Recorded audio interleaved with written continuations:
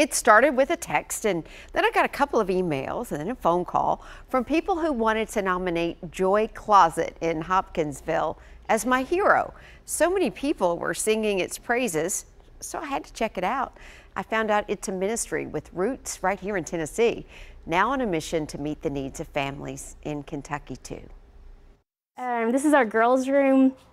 Um, so this goes from 5T on up to women's 3XL. Heather Gray named her mission project Joy Closet 14 months ago. And it's been crazy and very amazing to watch. But she may already need to rename it more like Joy Warehouse. We have had thousands of articles of clothing go out of our doors shoes, hygiene, bedding, socks, underwear you name it, they've gone out the door. Did you find everything? Yes, ma'am. Awesome, awesome. Joy Closet is a one stop shopping experience for foster families in the Hopkinsville area. All right.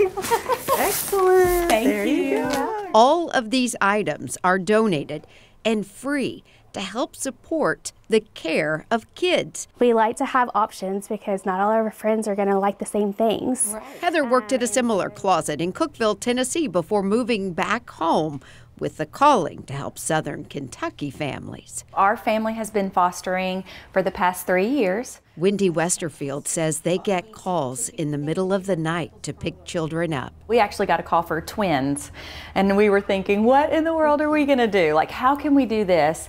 Um, but we said yes, and I called the ladies at Joy Closet, and the next thing I know, I had a double stroller. I had the right formula that these babies needed. Children who most often come with nothing of their own, a financial burden that keeps many people from fostering in the first place. And I just literally cried with tears because it takes the pressure off. Lots of books. Um, so that whole bookcase over there, um, this third of this one. The community support to fill this closet has been so overwhelming.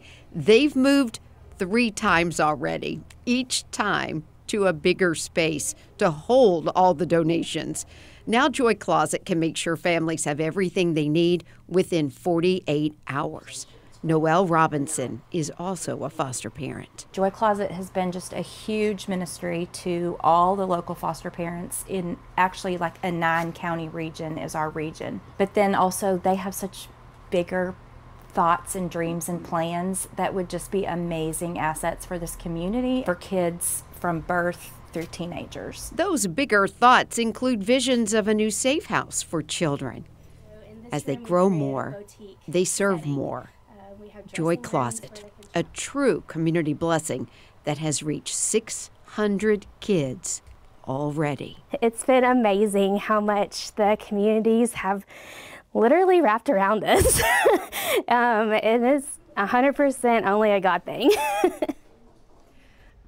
and I love hearing about all the organizations and the great people in our communities. Let me know about your hero with an email or a Facebook message.